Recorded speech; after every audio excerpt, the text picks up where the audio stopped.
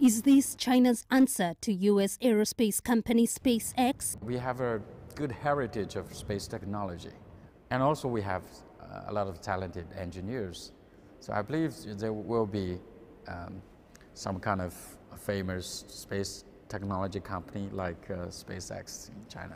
Here is one of China's emerging commercial aerospace companies.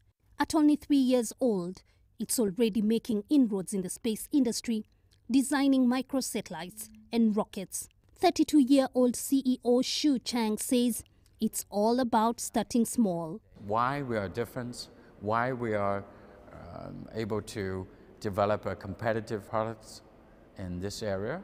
So I think region has played the most important role. These are all the parts. This June, One Space will launch its first homemade rocket. The 50-ton OSX rocket is designed for suborbital flights in order to provide high-altitude research and test services. This is a testing uh, rocket that will not be used for sending real satellites into outer space. The successful launch of the SpaceX Falcon rocket has inspired many startups in China.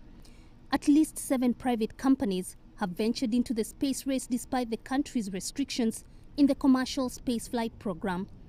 But investment in this industry is still far lower than that of other developed countries. One Space itself only received about 80 million US dollars in funding. Still, Chang says it's a start to greater things and hopefully we'll see a widening market to Africa. We're eager to enter African markets to improve people's lives there.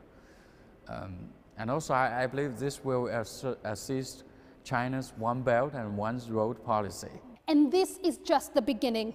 One Space has grand ambitions, including revolutionizing air transportation. How? It says passengers could soon use rockets instead of aeroplanes. Jane Kiyo, CGTN, Beijing, China.